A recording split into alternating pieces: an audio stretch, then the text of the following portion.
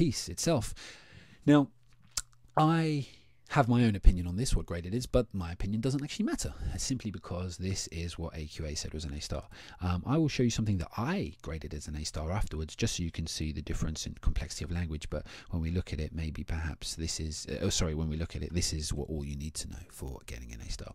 So we'll look through it, read it together, um, or I'll read it to you, should I say, and we'll pick out why this is actually good along the way. So the question, um, basically, I can see from the plan, was something to do with encourage a school to recycle or something like that. It might be in um, write a speech where you encourage a headmaster to recycle or something along those lines. But basically, it looked like we were arguing, and it looks like it's definitely on recycling. So here goes.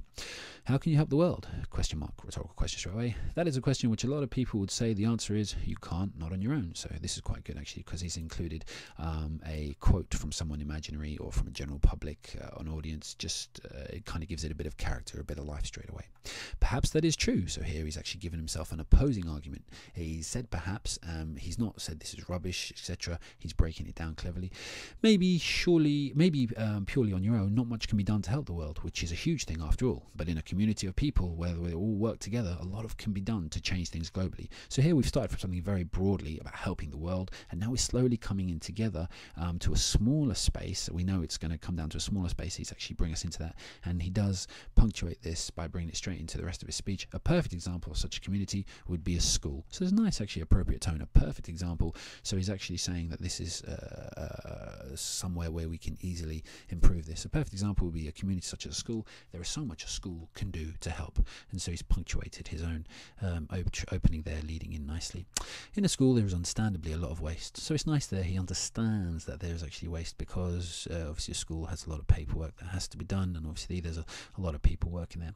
But if some of the bottles and plastic cartons, okay, so that's specific bottles, plastic cartons, are reused and recycled, R and R, alliteration, you could really make a difference you could really make a difference. So it's actually referring specifically to whoever's reading this uh, or whoever's being spoken to your school alone could make a big difference to the planet. Now, here's one of the things that I have a slight issue with here difference and difference repeated. Um, would look at a slightly more varied vocabulary, but obviously that's just a minor thing. The rest of it is very good um, to the planet. But imagine if all the schools in planet reduce their waste. How about all the schools in the world? So, again, offering this um, rhetorical question just to get us thinking.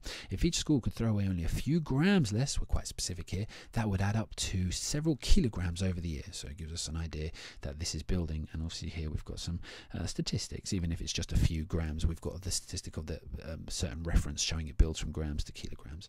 If this happened in every school in the world, that would mean thousands of tons less in every waste year. So we've gone from grams, kilograms to tons. So it's actually nicely built there. It's quite clever.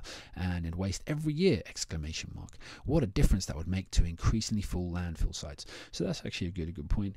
He's actually made his point across here and actually explained it and developed it, and then he's stressed it, which I mentioned earlier. What a difference that would make to increasingly full landfill sites but he's actually kind of looked slightly outside the box. So he's not just looking at how improve the school, but now we're looking at the wider context as well. So that's very good. Not only this, so it's an excellent um, connecting paragraph he's adding here, but what about electricity and heating? So moving on to a different area. So this actually shows he really has that complete range. Where does that come from? Electricity is made mostly, mostly using oil, an increasingly scarce natural resource. Why not turn the lights off in unused rooms? Doing this would greatly benefit the world, and in a school, this is a very prominent waste of energy. So, again, we're specific. Not only, so again, he's used not only again, uh, it's not my personal preference, but uh, obviously, come or go. And actually, I should be saying he or she because I don't know what gender this student was. Not only would switching off unused lights save energy and lower waste, it would also actually save the school money. So, another benefit has actually been extended on. The school would have to pay less for the energy and using less would reduce costs. The oil that is used produced electricity and also used to make plastic bottles. And when you finish using these plastic bottles, you throw them away and they go to one of two places. Okay, so he's offering us um, insight here. Some of them are buried in landfill sites and others are burnt. And when these plastics are burnt, they can release poisonous gases which contribute to global warming. So using less of these bottles and by reusing them, they'll again save the world. So this is actually good because he's being very specific and actually mentioning the day danger, etc. Exactly. So obviously telling us uh, he, this person looks informed. They know what they're talking about. They've come from a uh, kind of more passionate passionate point of view. Now they're looking from a more um, envir- environmental point of view they've come from a cost point of view. So it's so, so far so good. And again the exclamation mark.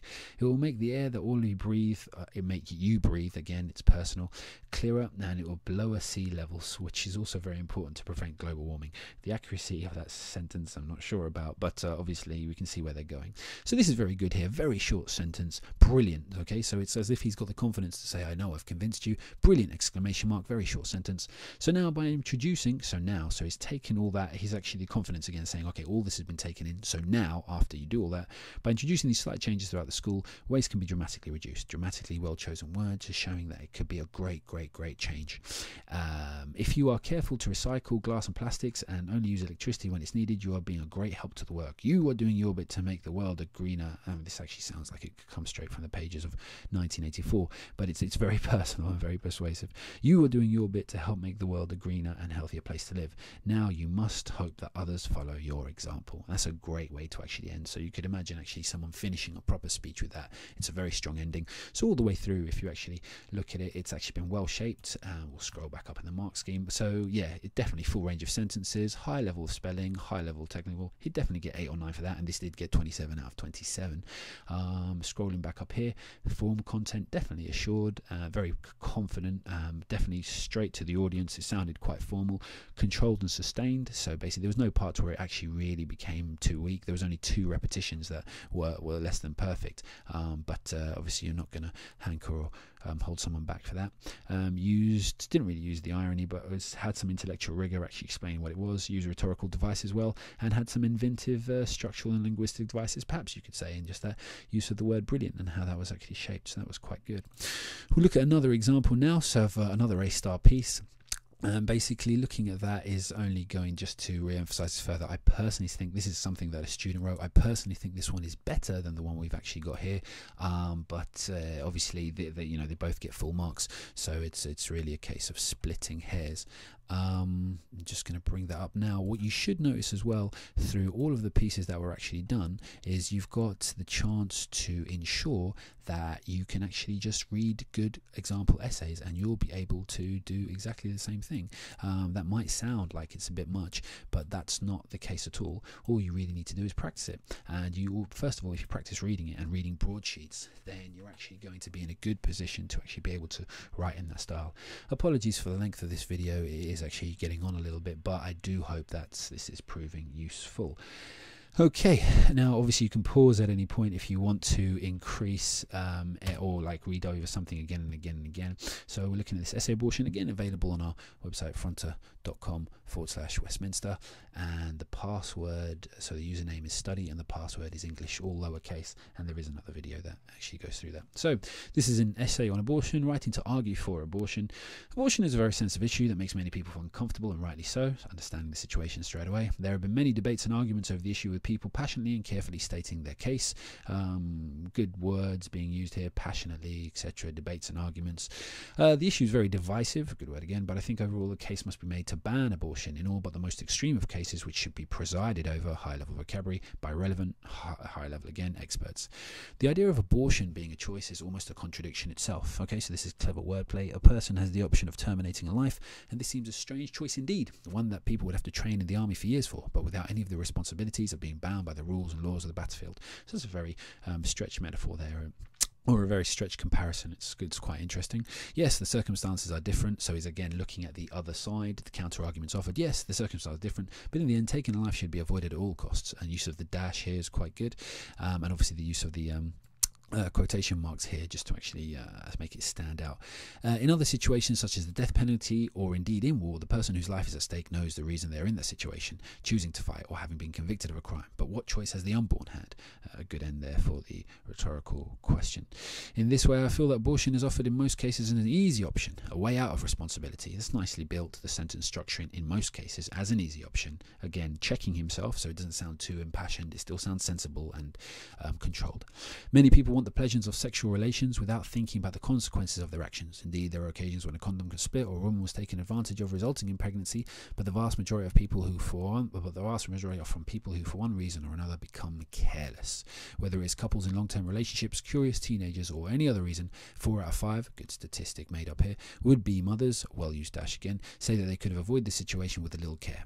With so many ways of protection, uh, colon again, uh, sorry, semicolon, uh, sorry, colon again, the morning after pill, condoms, femidoms, the pill, again, a good background knowledge of how to actually cover the situation.